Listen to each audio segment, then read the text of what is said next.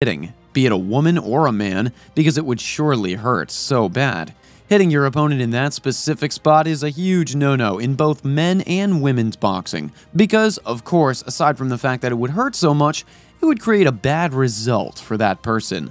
But if the referee leaves it alone and even calls it a knockdown, I suggest we find that referee and knock him down. Before you leave, be sure to hit the subscribe button, smash the like button, and ring the notification bell so you don't miss out on our latest video updates.